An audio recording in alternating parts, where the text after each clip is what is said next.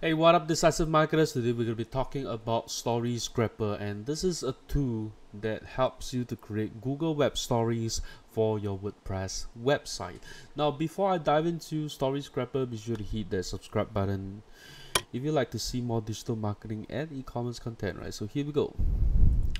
So here we are in StoryScraper, but before I jump in, do note that StoryScraper at the moment only works with WordPress. So you need to have a WordPress website and what it does, it creates Google Web Stories for you and Google Web Stories they appear in the Google app under the uh, Discover tab or on uh, your Google mobile searches, right? So um, if you're on the desktop, you will probably not be able to see any Google Web Stories, uh, you know, popping up I guess. Um, I could be wrong but I have uh, done the same search on desktop and mobile and I realized that it doesn't show up on the desktop itself.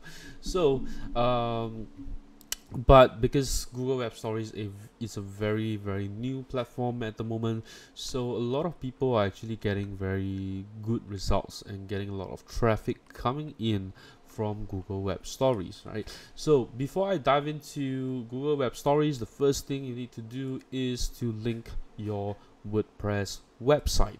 And to set this up, it's very simple. Just you know, key in your uh, website URL, your admin username, and then the uh, sorry you got to select the REST API and then put in your user application passwords right? So if you are admin uh, user or in your profile you will be able to create a user application password and then you just need to input the password in here and then you'll be able to connect your WordPress website. So to create uh, Google Web Stories using StoryScraper there are two things you can do right? So the first one is the StoryScraper version 4 so what to do with this uh, you can select either bulk stories or single stories okay?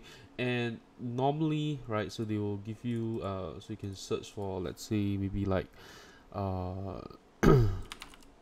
Hindustan web stories or something like that okay?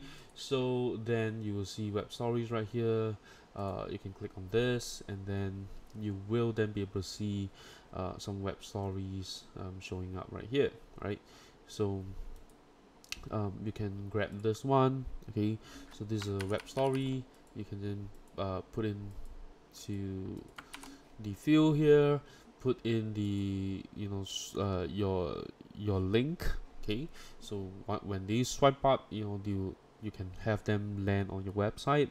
Then you can put the call to action text uh, and then if you want to remove any text from the story put in the category name alright? And then uh, I forgot to mention this but you need to install the uh, Google Web Stories plugin on your website okay?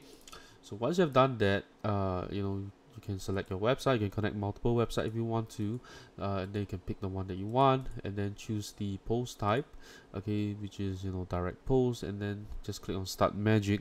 It's going to pull in this web story and post it on to your website okay right then you will then be able to create a google web stories from there.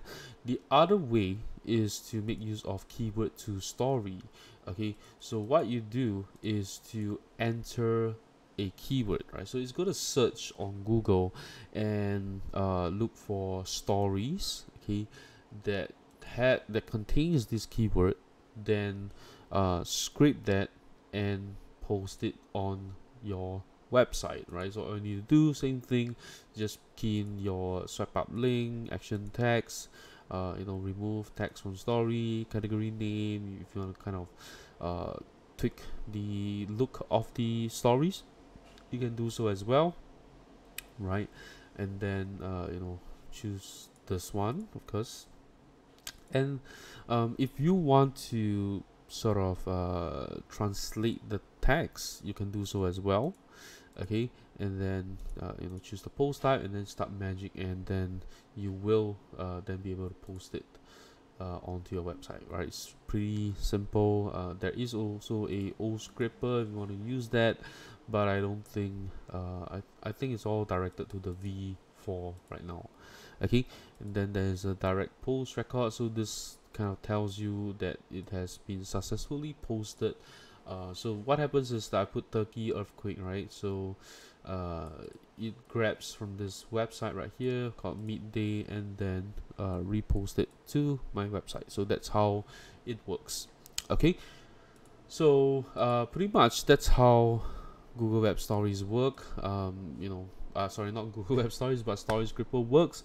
Okay and uh, you know a lot of people are getting very very good results from google web stories. Uh, i highly uh, would recommend people to jump in and make use of google web stories. And if you want to you know uh, create content from somewhere uh, from some other sources then StoryScraper is going to come in very handy for you. Right so that's all i can i i have to share for about StoryScraper if you enjoyed this video do give me a thumbs up let me know what you think about StoryScraper in the comments below. Lastly if you know anyone who can benefit from StoryScraper be sure to share this video with them. I'll see you in my next video. Bye bye